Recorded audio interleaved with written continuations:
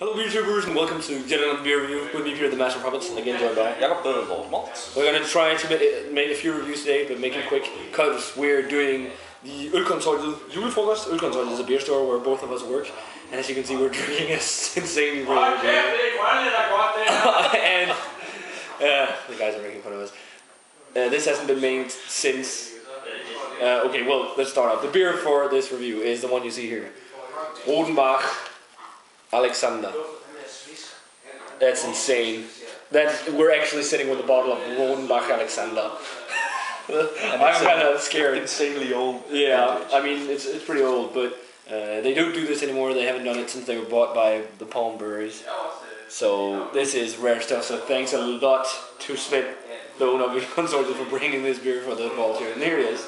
We got a small sample because we're uh, eight people sharing it. Nine people. Nine, okay. Um, and it does it barely has any carbonation.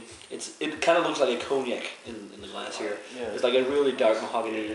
And we haven't tasted this one yet. No, we've only Tease. smelled it, so it's a tease, and the others are tasting it right now and going crazy. So I just think we should dig in with the aroma. It smells so good. Oh. It is. It, it, it smells like raisins and figs, insane amounts of it, and and it smells like a really aged balsamic vinegar. Yeah, but it has some chocolate. Yeah, notes. chocolate notes and Definite cork-like notes and a little bit of an almost vanilla component from the barrels because it's in, been, been barrel aged. It's a sour ale. It's from Rodenbach, uh, like a Flemish sour. It has that dusty old feel, but a lot of sweetness and yeah. I, I, I think we've been sweetness. yeah we've been holding this up for enough time. Let's just give this a try. Cheers. This would be worthy for one thousand actually.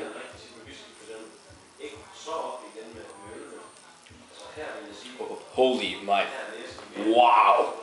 And that is holding up insanely well considering the age. Wow. Uh, no, I can't take that many sips because I'm gonna have a small one. Um, mouthfeel is like a medium. It's, dry, uh, it's creamy yet a little bit dry. No carbonation. Flat. That flat, but it, it works well. It drinks like a tart port wine. Yeah, Um, lots of port no- notes, a lot of oaky notes, cork, but it has tons of raisins and and uh, like figs. yeah, but it Dark has a kind of like a uh, chocolate, dates. a, a kind of chocolate um, feel to it, milk chocolate almost. I don't get too much chocolate in the flavor. I'm more getting the sweetness and the vanilla and the oak and stuff like that. Um, it is really nice, and I really dig the the barrel character, the like the old cork. Yeah. It doesn't have funk per se though. No, really. It's it, it, it's mellowed a lot. yeah. I haven't had this before, but No, and you never will. Well, we're actually going to try another vintage after this, which is insane. So, but it's phenomenal. I, I think it was was better fresher though. Uh, it tastes though. may, maybe have a little more. Uh, it would have more carbonation and more sourness, but I don't know. It's hard to say. It's great, but it's not a hundred beer for me. Even I, I think even actually I maybe I liked the Caractère Rouge a little bit, bit better because it was fresh and it had the fruits. But it's I, and in retrospect, I probably gave the Caractère Rouge a little bit of too high grade. But this is phenomenal stuff. I'm gonna go 95 on this. This is one if you can trade for it, get get it. It's fantastic, It's a and it's just whale. yeah we're, we're glad with it. We got yeah white whale, white whale. 95. This is this stuff is amazing. Well, I can't argue with or against you, or I can't argue against you. So I'm gonna go 95 as well. I can't. Ah, no, I'm gonna go 96. 96. This is a great beer. Almost like Ribena. Yeah, right. Uh, actually, like blackberries, blackberries. Great stuff.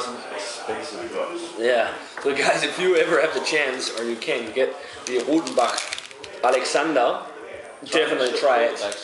Uh, it has like has like etched or painted labels on the bottle. But if you get the chance to try it, definitely go for it. Uh, and I'd love to hear some feedback how this, uh, what you guys think of it, and how if any of you had it when it was like fresh, what you thought. But as always, guys, remember to comment, subscribe, check out the Facebook fan page and Twitter. We're gonna say cheers.